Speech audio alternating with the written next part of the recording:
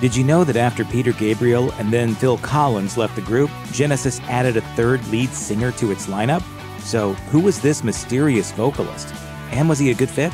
To learn this and more about the untold truth of Genesis, keep watching. In the 1960s, Charterhouse School, a private institution in southern England, was a breeding ground for creative types. Many hopeful bands emerged. Sadly, by 1967, both of the major rock bands formed by the students there had split up, but Anthony Phillips and Mike Rutherford, formerly of Anon, kept writing together. And when recording a homemade demo, they invited the former members of Garden Wall, Tony Banks, Peter Gabriel, and Chris Stewart, to join them. The musicians thought so highly of the demo that they wanted to re record it professionally. So they contacted the only music industry contact they had, Jonathan King, a Charterhouse alum who, in 1965, had a top 20 hit with Everyone's Gone to the Moon. He liked the tape so much that he agreed to launch the band. King landed the group a contract with Decca Records and even came up with a band name, Gabriel's Angels. However, as Gabriel noted in the band's memoir, Genesis Chapter and Verse, the other members of the band didn't like the name. So, as King told the BBC, I gave them the name Genesis because for me, that was the start of my production career.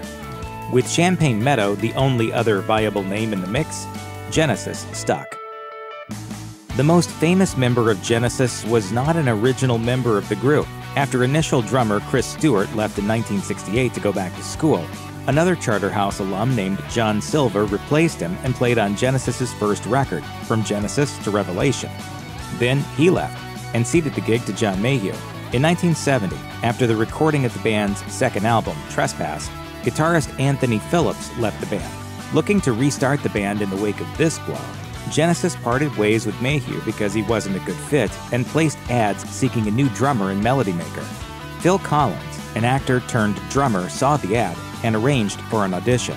Collins told the Ultimate Classic Rock Nights radio show it was at Peter Gabriel's parents' farm. It was a beautiful day. They were auditioning out on the patio. Collins had arrived very early and Gabriel suggested the drummer take a dip in his parents' swimming pool while the other candidates auditioned not very far away. So I went and had a swim. Collins explained to Ultimate Classic Rock Nights I could hear anything that was going down. I knew the tunes before I actually auditioned. So when I came up to play, of course I walked straight into it. I knew all the things, so I got the job. I mean, there was, you know, I think little doubt at the end of that session that, that Phil was the best. Genesis came of age in the 1970s in addition to a golden era of progressive rock, it was also the heyday of glam rock, when male rock stars like David Bowie, Marc Bolan, and the New York Dolls challenged social norms and traditional gender roles by wearing makeup and feminine style clothing. Peter Gabriel of Genesis wasn't a glam rocker, but he definitely took the idea of what a rock frontman can sartorially get away with to the next level. During concerts, he'd different, specially made costumes to better embody different characters suggested by the band's freewheeling songs. For example, portraying the Watcher of the Skies involved a batwing headdress. Additionally, the colony of the Slipperman required a Slipperman costume that could best be described as a demonic Mr. Bubble. For the band's 1972 album Foxtrot, he dressed up like the red dress clad humanoid fox from the cover. Gabriel told Uncut, my wife, Jill, had a red Ossie Clark dress which I could just about get into, and we had a fox head made. Even Genesis fans were at least slightly unnerved by the ensemble. Gabriel explained, The first time we tried it was in a former boxing ring in Dublin, and there was just a shocked silence. You could feel the horror. I thought, oh, this is exciting. Probably in large part due to his memorable and dazzling stage persona, Peter Gabriel wasn't just the lead singer of Genesis, he was the face of the band. And in the public eye, the man and the band were almost inexorably linked. So, when Gabriel abruptly left Genesis in 1975, the exit seemed catastrophic to the future of the band. Phil Collins told Prog magazine, For a time, I thought we'd carry on as a four piece without any singing. Ultimately rejecting that notion, a hunt for a new singer began in earnest. Genesis put out word and received hundreds of inquiries and audition tapes. Nobody, apparently, was up to the task. However, the band soon realized that its drummer, who'd taken lead vocals on the occasional album cut, actually had a pretty good voice. Collins told iNews, We couldn't find another singer, and so the rest of the band convinced me to do it. There really wasn't another option, and I drew the short straw. After leaving Genesis in 1975, Peter Gabriel stayed on good terms with his old bandmates. Phil Collins even played drums on Gabriel's third solo album in 1980, but only once did Gabriel ever front a live lineup of Genesis after his momentous exit from the group, and it was born out of a possibly life saving gesture of goodwill. In 1982, Peter Gabriel launched the WOMAD Festival, or World of Music, Arts, and Dance, a live celebration and exposure platform with musical arts from around the world. It's now a 30 year plus endeavor, but it almost immediately died off. Gabriel told The Guardian, We thought everyone else was going to be as excited as we were. It became a nightmare experience when we realized there was no way we were getting the tickets to cover our costs. The debts were way above what I could manage. Gabriel considered playing some shows to work off the debt, but he wasn't yet a huge concert draw. But Genesis, with back to back hit albums, Duke and Abacab, was. And so, the band added an extra stop to its tour at the National Bowl in Milton Keynes, England. It was just like old times, too, with Gabriel even appearing in costume. By the mid 1980s, Genesis had completed its slow transformation from weird progressive rock band to pop combo that scored major top 40 radio hits. Helped along by the very mainstream pop solo career of singer Phil Collins, Genesis achieved in mid July 1986 what it had never done before or since. It topped the Billboard Hot 100 singles chart. Invisible Touch sat at number one.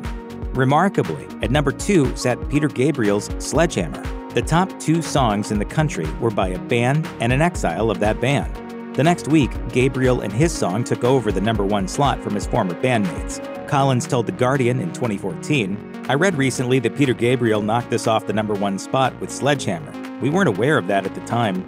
As far as dominating the pop chart is concerned, Genesis was the most popular band, if not franchise, in the US in July 1986. Besides chart toppers from the mothership and a solo offshoot, When the Heart Rules the Mind from former Genesis member Steve Hackett's band GTR also sat in the top 20 at the time. Well, what has happened is you've gone from being a cult to a big cult to being kind of more mass appeal. Genesis, particularly drummer and singer Phil Collins, loves African American musical styles. His first solo top 10 hit was a take on the Supremes' Motown classic You Can't Hurry Love, and his 2010 album Going Back consists entirely of 60s soul covers.